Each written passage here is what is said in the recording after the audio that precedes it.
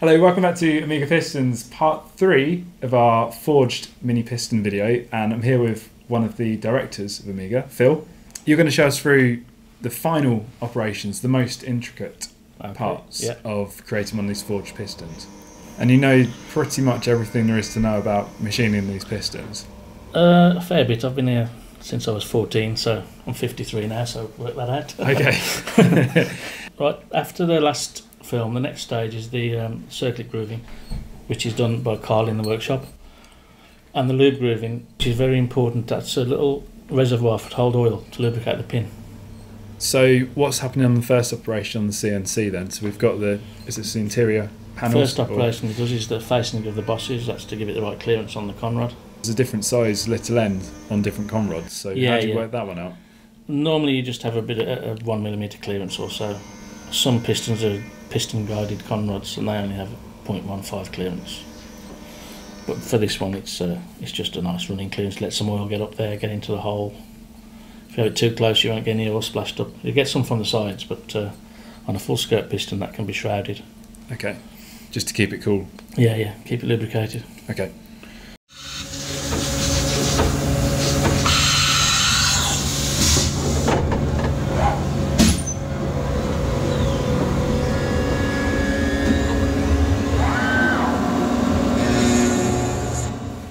We put two in because when you want to get the circlip out, if you've only got one, sometimes the circlip's rotated and the gap of the circlip's there, so you can't get your removal tool in to get it out.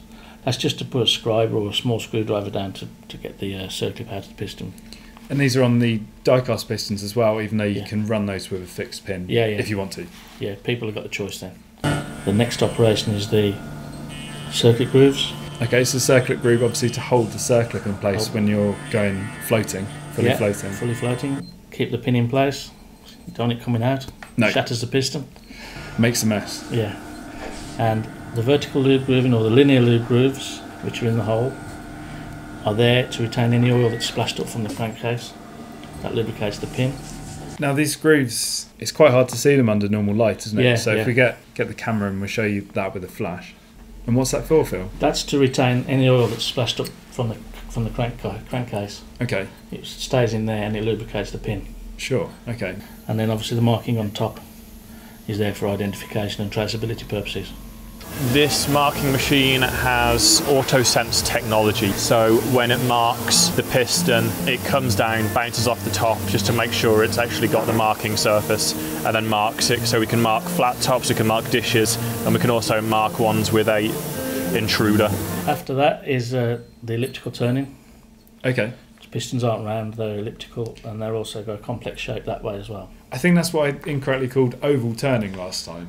Yeah, well, in lips and oval, it's interchangeable really. Just sounds more technical if you say lips. So pistons aren't round. No. Piston's got all these shapes on because it doesn't expand in a uniform way. The top of the piston will be the smallest because the combustion chamber is there, so that's the extreme temperature range of the engine. It's also oval or elliptical, however you want to say it, because the heat generated in the pin bore conducts along here and causes these to grow more than that. So if you measure that there and that diameter there, that will be smaller. We remove metal where it's going to expand more. So at running temperature, it's virtually straight and nearly round. Normally the piston will be sitting there on the fixture and rotating at 1200 RPM, but we haven't got the fixture in at the moment. Okay, here's a program I've created to show you how the skirt profile is generated along the piston. Those movements have been magnified around 100 times.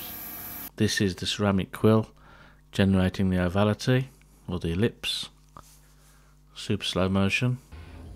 And this is a little program I wrote just to show you how the two axes work within each other.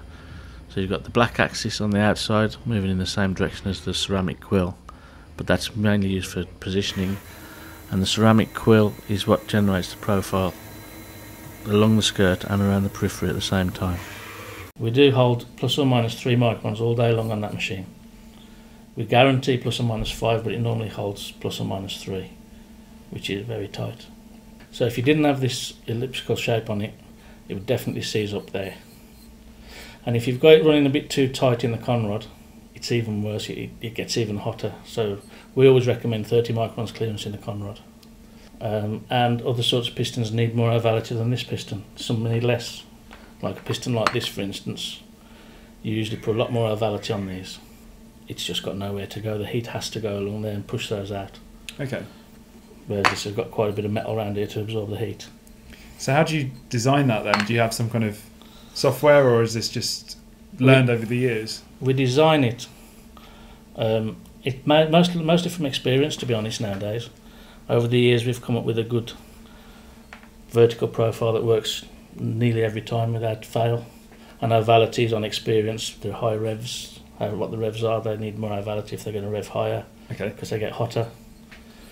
You've also got the vertical shape there because that obviously is right in the combustion chamber. So the most heat's there. Okay. So that will be the smallest part of the piston. Sure. The largest part of this piston is probably about there, and it gets smaller in every direction.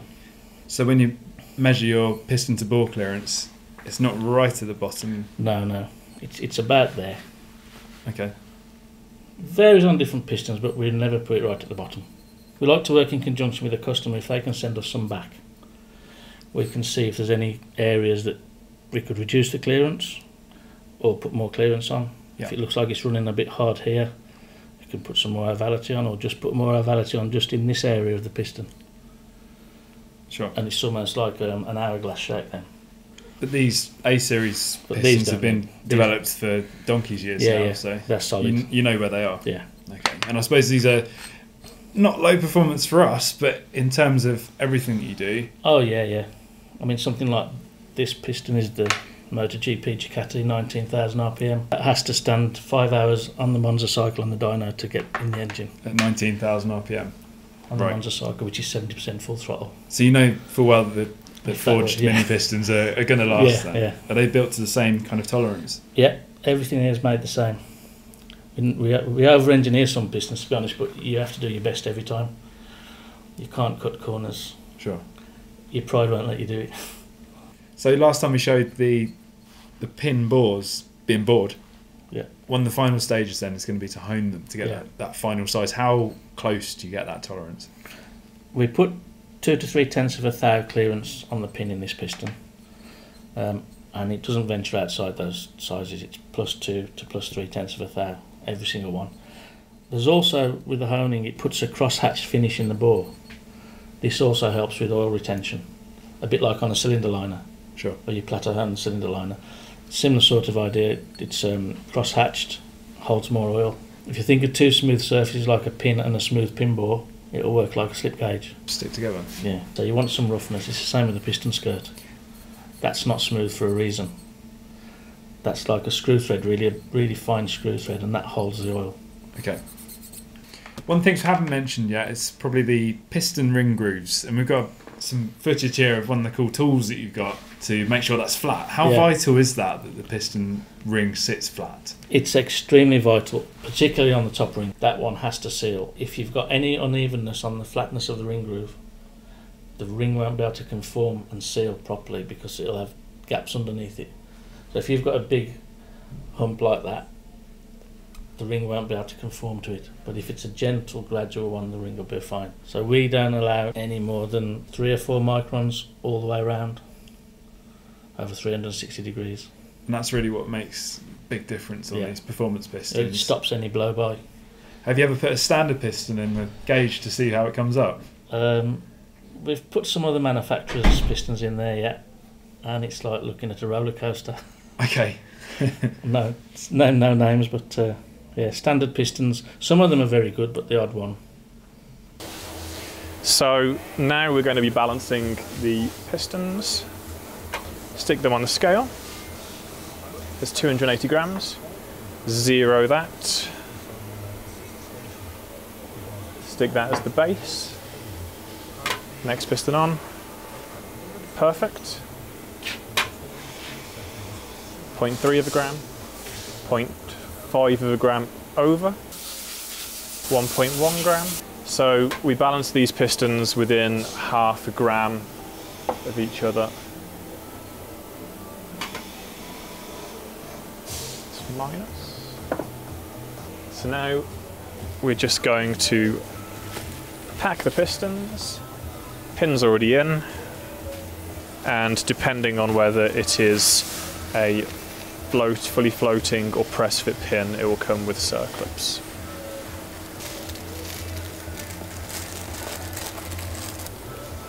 Circlips, ring fitting instructions.